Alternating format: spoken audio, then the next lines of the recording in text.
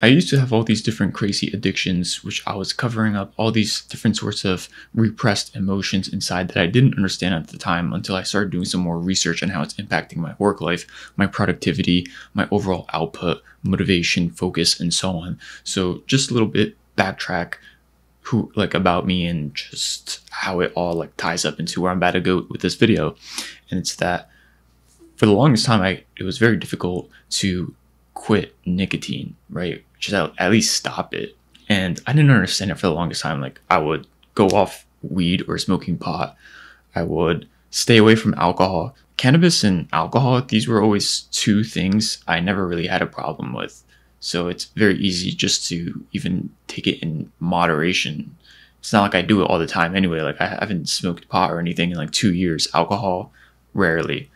But for nicotine, I don't understand why, but it was just one of those things where I started at a very early age and I just kind of continued on through middle school, high school, and, and onward.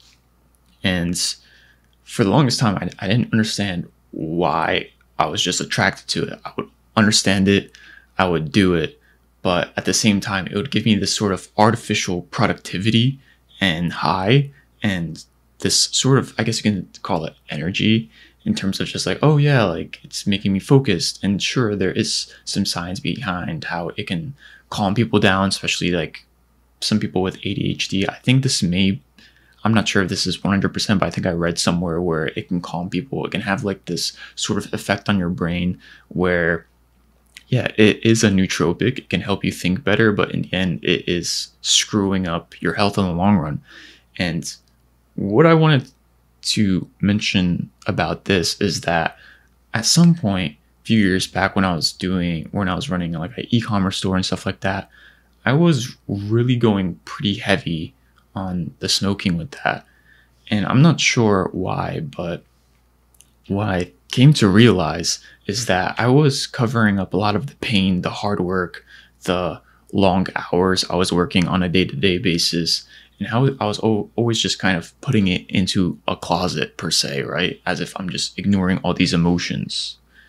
And I didn't understand that. But now looking in hindsight with all the information I'm about to share and just some tips and tricks that I've learned throughout the the months, the years, whatever, in terms of understanding what it is and how it's unlocked a lot of motivation, more focus, and productivity. Now it comes to like the limelight of how damaging it was and that it was just really all a form of escape. I wasn't it was I was just grueling through the work. I was grueling through it. I was just pushing through it, but inside it, there was like this pain. There was all this stuff burning up that I was just kind of like stuffing deeper and deeper into the closet that I wasn't addressing. And really what all this is is just pain and emotions telling you that there's something wrong in your life that you're doing and that you have to solve it, right? Like if you read philosophy books, spirituality books, all these different books, what all these books tell you is that when there's pain, when there's suffering, all that is is just an indication that there's something wrong in your life and that it's time for change because either one, you don't align with it anymore, it doesn't make sense for you to do it, and you know you don't want to do it, and two, that this is a gift if you haven't saw my video on addiction I posted a few months ago, check it out. But all this really is, is is a gift for transformation in terms of what you can learn from it, what you can become out of it, and how it can ultimately transform you into someone you aspire to be like. So now let's get more into detail in terms of how repressing these emotions, addictions, and stuff like that can actually be hindering your productivity, your output, and your overall professional life.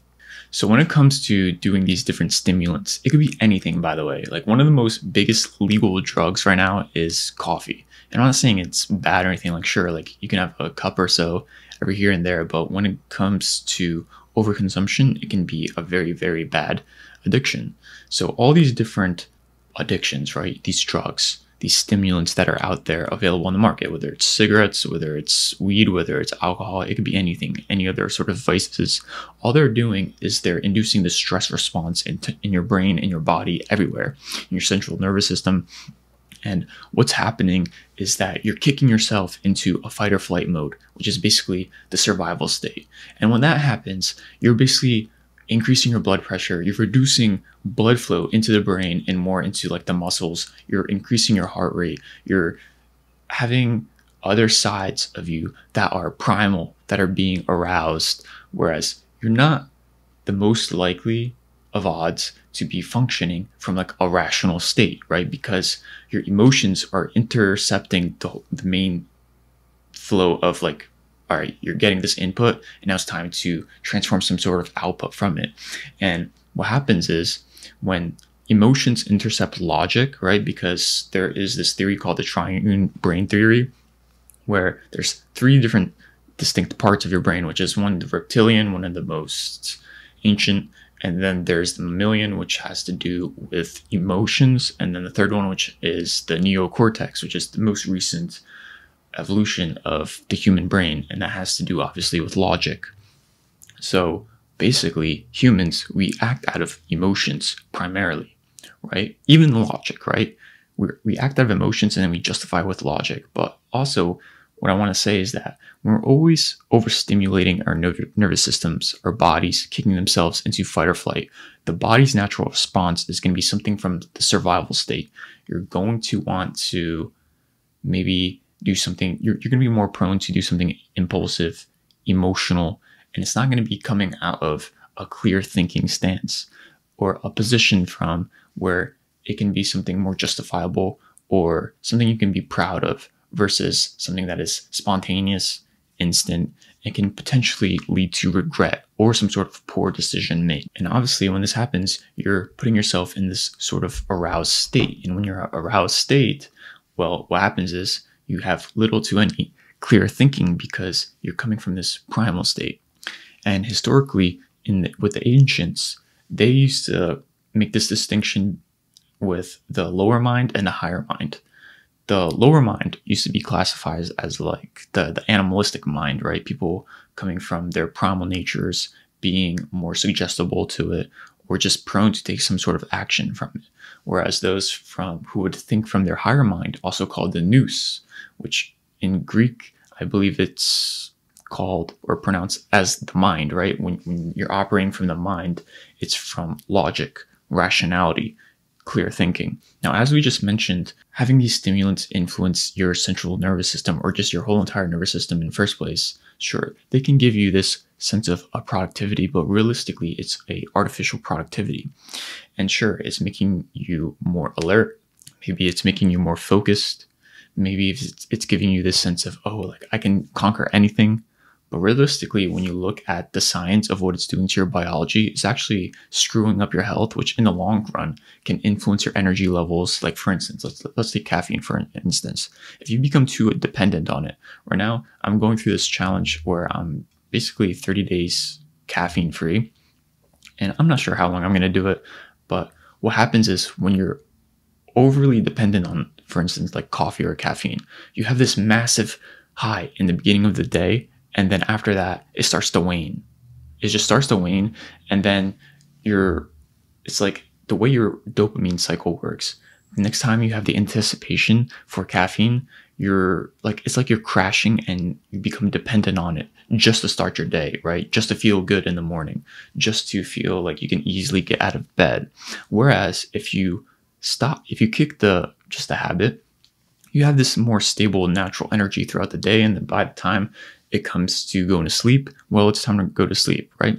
Same thing with like nicotine or anything. You, you wake up in the morning, you have this anticipation, and you get this sense of like, oh, if I go smoke nicotine, I'm going to go get this reward. Well, now you know by the time you sit by your desk, you're going to get this reward. You're going to take the hit of the nicotine, weed, whatever, and you're going to feel motivated to continue doing your work, right? But it's really just this false sense of it when behind the scenes, like in your body, your operating system, there's all these different things going on with all the chemistry and the cells and everything going on, whether it's like with caffeine restricting blood flow to your brain, right? Which actually influences different areas in terms of your brain health, brain growth, memory, recall, all these different areas that I mean, I can't probably recall off the top of my head, but just know in the background, all this stuff is going on that is influencing your cognitive function, your productivity, and your longevity, right?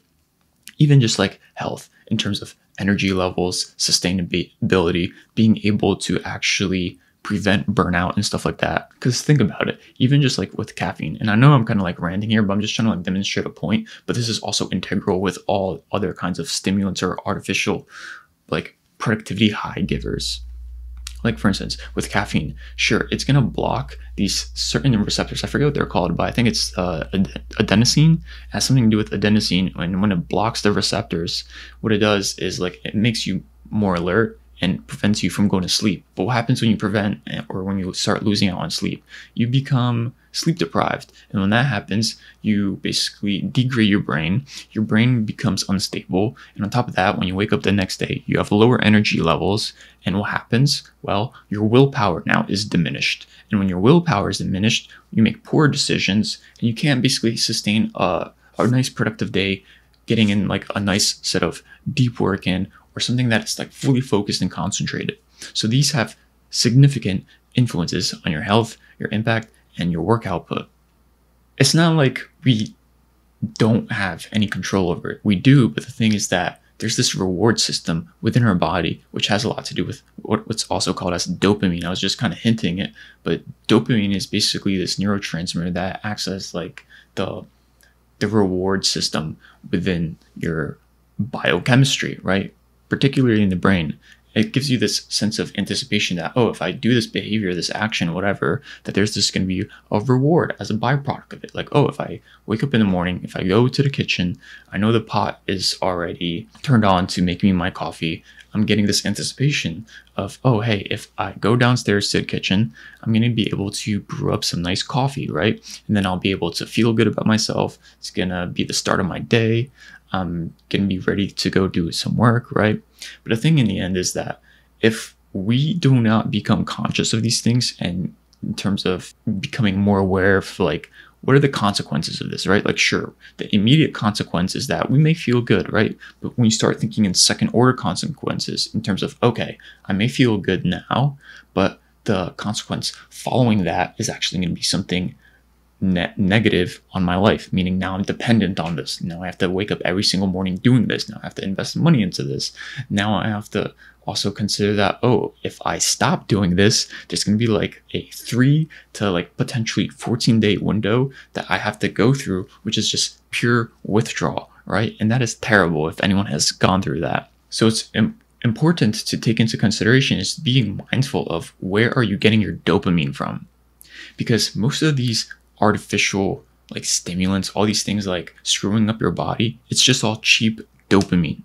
It's literally all just cheap dopamine, and you're basically raising the baseline of your dopamine. So you require being overly stimulated on whether it's porn, whether it's weed, whatever it may be.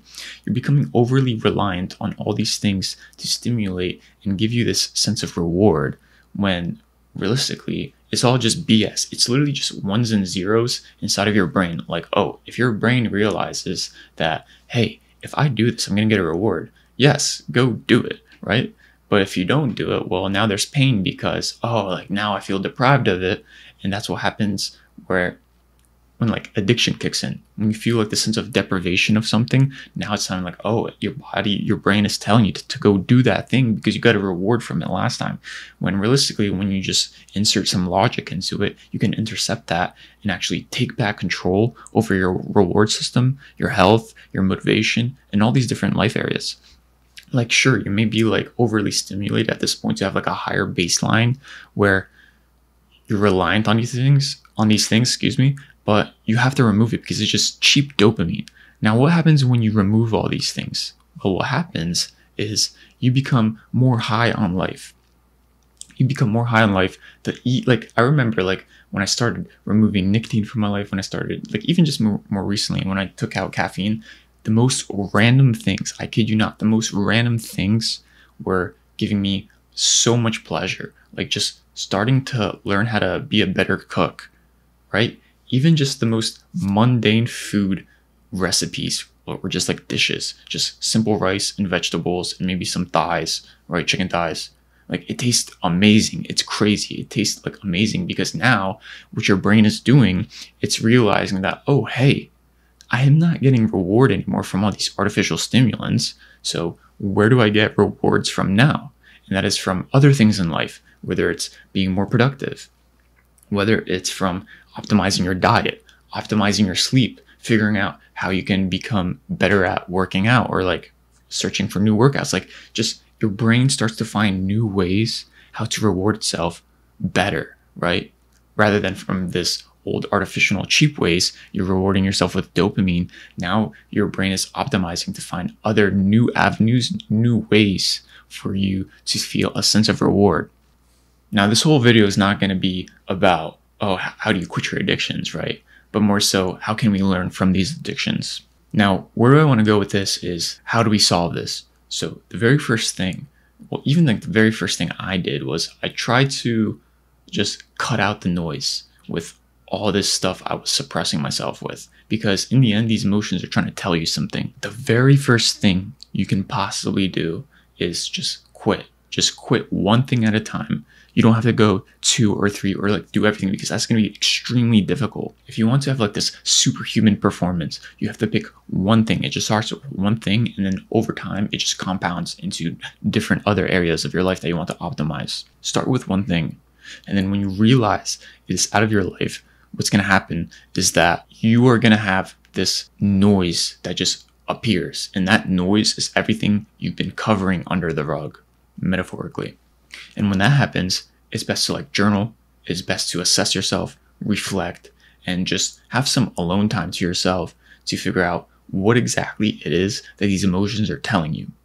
Because these emotions are clearly indicating that there's a problem in your life that you want to solve. Because, sure, you're telling people the world yourself that it's easy to quit nicotine, that it's easy to quit some drug you're on, but why haven't you done it already?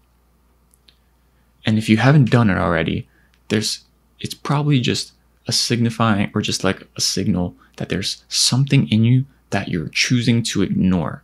For me, it was I was just overworking. I have this this thinking, this faulty thinking where I just always had to work, work, work, or work, work, and work. It, it was honestly addiction to work. I don't know why, but I had that.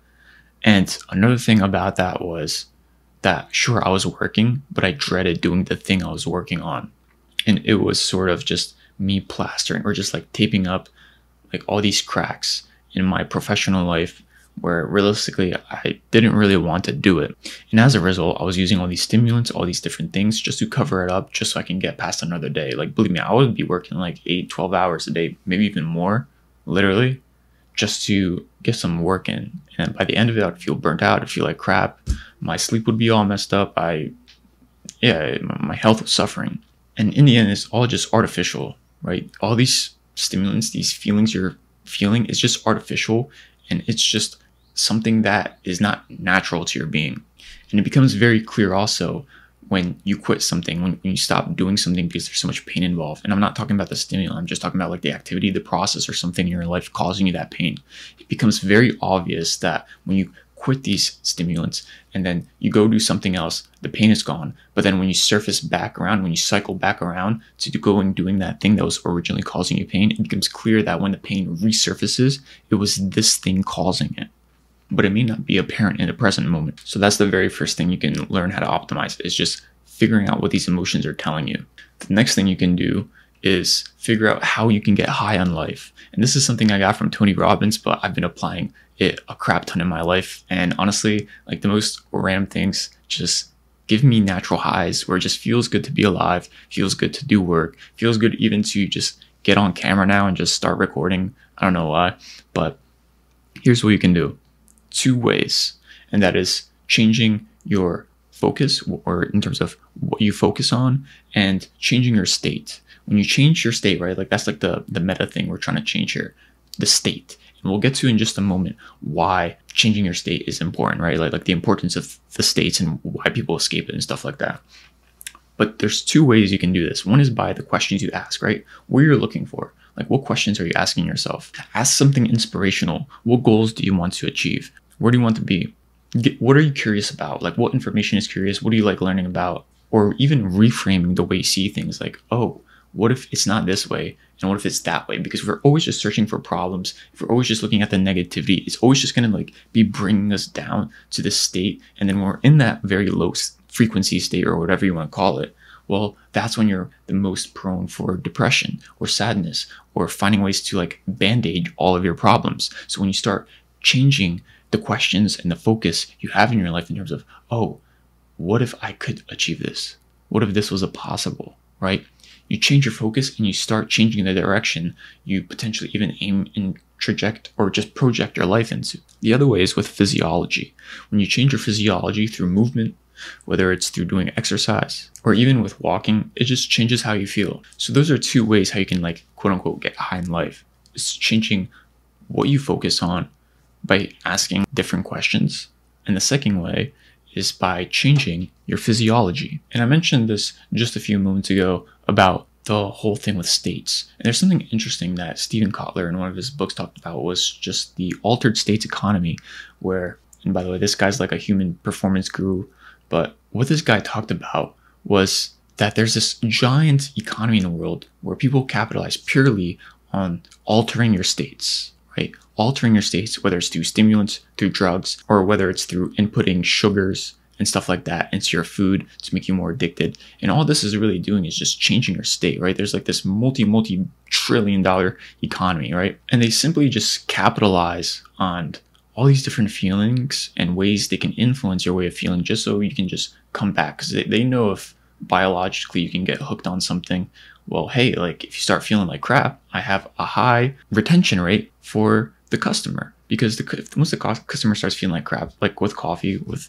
nicotine once it's not there or anything like that well they'll cycle around they'll come back they'll get some more. And now guess what? They i got another customer right? Or not another customer they bought from me again. So there's this whole entire economy where it just capitalizes purely on just altering your state of consciousness and this is also something interesting that ties into David R. Hawkins' work, where he talked about the different states of consciousness. And there's this like graphic which shows all the different states someone can have. And when we're in these low states, right, we think out of them. It's like whether it's anger, depression, hatred, whatever, sadness. Well, even just goes back to like what I was just saying a few moments ago with that Tony Robbins exercise. When you're in these low frequency states or whatever it may be, and you act out of it, you're not the most likely to be the most creative the most abundant or even the most energetic to produce some sort of creative work. Whereas if you're in something that is more loving, more happy, more exciting to be in, joyful, you're more excited about the work you're about to do. Like imagine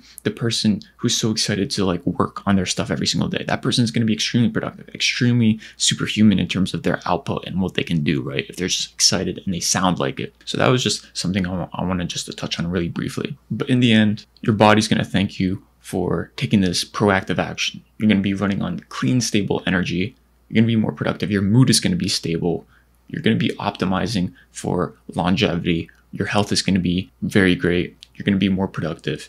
And the quality of your output, most importantly, is going to be superb. It's just going to be top notch because it's not artificial. You know you're running on, on clean fuel and you'll just be able to think more clearly. Like that's the most important thing. You want to think clearly and you want to produce massive output without being in a survival state or something which negatively influences your output. So that's going to be all for the video. I hope there was a lot of insights, a lot of interesting value you got from it.